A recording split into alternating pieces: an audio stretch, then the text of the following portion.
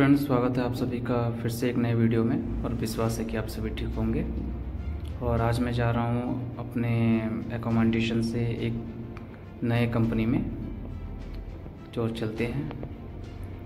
और हम निकल चुके हैं कंपनी के लिए, जिस कंपनी में जा रहे हैं, हमारा काम है वहाँ पर।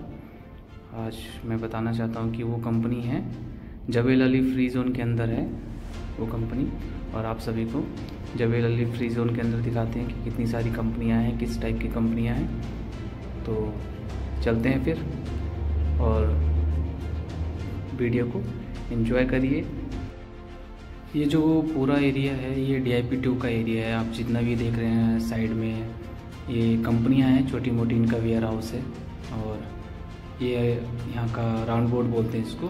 काफ़ी बड़ा राउंड बोर्ड है। यहाँ से सारे गाड़ियाँ अपना अलग अलग हाईवे के लिए निकलती हैं। और ये देखिए यहाँ का नज़ारा।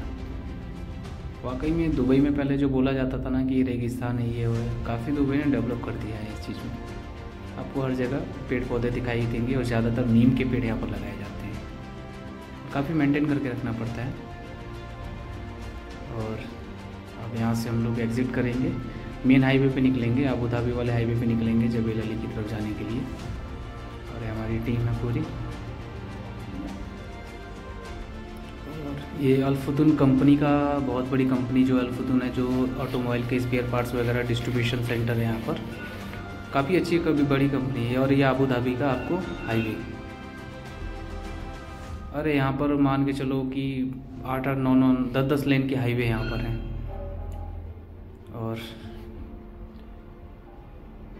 आप देख ही सकते हैं कि रोड तो काफ़ी नीट एंड क्लीन है यहाँ पर और गाड़ियाँ एकदम फर्राटे भरती हैं यहाँ पर। फर्राटे भर के जाती हैं, बिल्कुल। और यहाँ का सुबह का नज़ारा काफ़ी निकलते हैं तो अच्छा लगता है, थोड़ा माइंड भी फ्रेश हो जाता है। और एक तरफ़ है कि आप यहाँ का ना, आपको अगर आएँगे तो यहाँ का ओवर ब्रिज जो है ना फ्लाई ओवर है, समझ में नहीं पा, आ पाता कि किधर हम लोग जा रहे हैं। काफ़ी कन्फ्यूज़न होती है तो समझना पड़ेगा, इस चीज़ को देखना पड़ेगा। अदरवाइज़ अगर कहीं रॉन्ग वे में चले गए तो फाइन ही है फिर। और यहाँ से स्टार्ट हो जाता है एक्सपो सिटी सेंटर जो 2020 का जो एक्सपो हुआ था, काफ़ी बड़ा एक्सपो है। यहाँ भी आपको किसी दिन हम घुमाएँगे विज़िट कराएँगे। काफ़ी अच्छा एक्सपो सेंटर है। तो आप देखते हैं अगली बार कहाँ लगता है। वैसे काफ़ी बहुत बड़ा एक्सपो सेंटर है। घूम, आप अगर पैदल घूमेंगे तो नहीं घूम पाएँगे, बहुत बड़ा है। एक्सपो सिटी के नाम से है, दुबई। और यहाँ आसपास जो भी है इन्होंने सिटी अपनी बसा रखी है और ये यहाँ से इंडस्ट्री जो है यहाँ पर काफ़ी बड़ी बड़ी जो इंडस्ट्रियाँ हैं ना, वो जबेल अली फ्री जोन के अंदर जाफजा जोन बोलते हैं, जिसको मैंने आपको पहले पिछले वीडियो में भी बताया कि जो जाफजा जोन है ना, उसका वीज़ा अलग आता है, दुबई का अलग वीज़ा आता है। जाफजा जोन का वीज़ा जो है, वो पहले तीन साल का होता था, लेकिन अब सेम वही दो साल का मिलने लगा है। मेरा जाफजा वीज़ा नहीं था, मेरा दुबई का वीज़ा था तो मेरा जो वीज़ा है ना मेरे को जाफजा कार्ड इशू हुआ है कंपनी की तरफ़ से। और मैं दिखा देना चाहता हूँ कि ये अब हम जो एंट्री करने वाले हैं अभी, इसी लेन से हम लोग एंट्री करेंगे जाफजा गेट के अंदर। तो ये राउंड बोर्ड से जस्ट सीधा आपको दिखेगा जाफजा का गेट वहाँ पर चेकिंग होती है चेक करते हैं कि कौन से मतलब आपके पास आईडी है जाफजा जोन का आईडी है कि नहीं है। उसके बाद में एंट्री परमिट देते हैं लोग। तो यहीं से, अब ये देखिए जो सामने दिख रहा है आपको, ये जाम जाफजा गेट है, यहाँ पर सारी चीज़ें चेकिंग होती है। चेक इन चेकआउट जो भी मटेरियल इन आउट होता है, यहीं से होता है। तो ये रहे में, ये मेन गेट है, ये जाफजा का।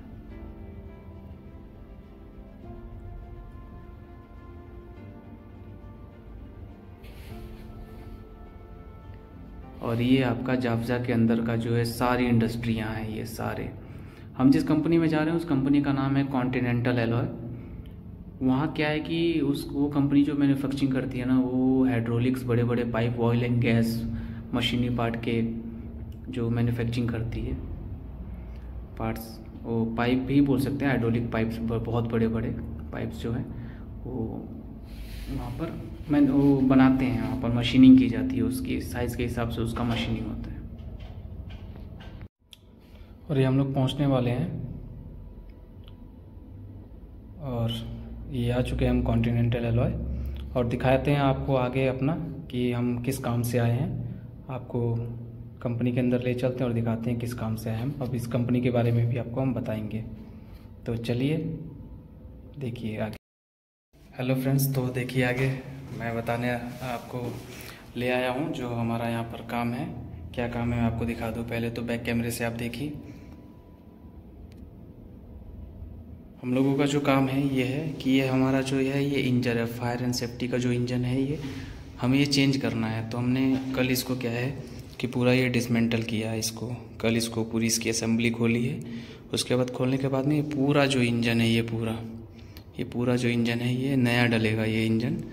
इंजन ये नेपको कंपनी का डलेगा जो भी है किसी भी कंपनी का डले। और इसको फिर क्या है कि दोबारा इसको असेंबल करना है।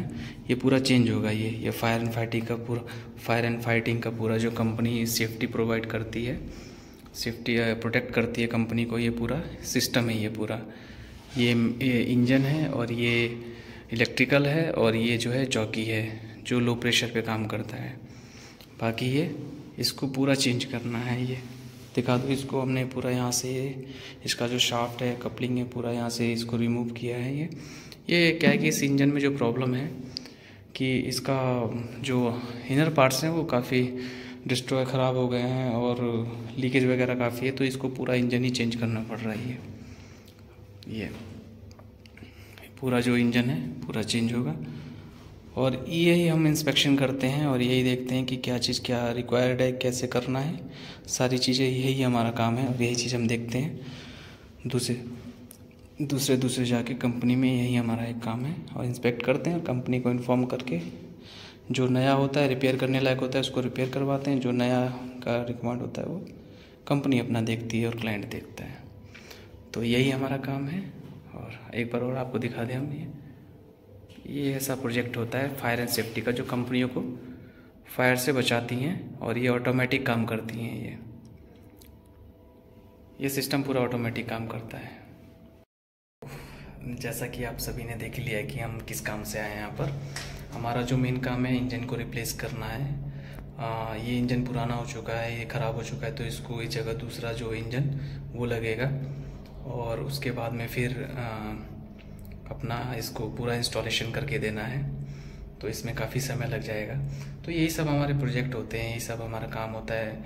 दुबई में जो मैक्सिमम कंपनियाँ हैं, इनका टेंडर जो हमारी कंपनी ने ले रखा है, कि जो भी वर्क होता है, जो भी पार्ट्स वगैरह इस पर रिप्लेसमेंट होता है, उसका हम रिपोर्ट बनाते हैं, उसको मेंशन करते हैं, उसके बाद में उसको चेंज करवाते हैं।